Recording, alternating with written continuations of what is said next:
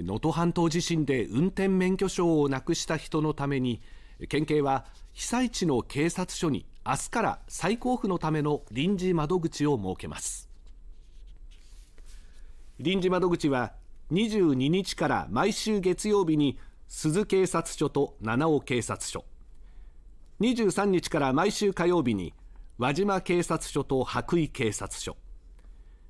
25日から毎週木曜日に鈴警察署能登庁舎。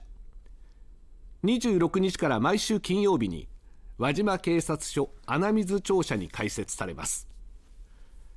家屋の倒壊や津波により運転免許証をなくした人が対象で身分を証明する書類がなくても再交付の申請をすることができます。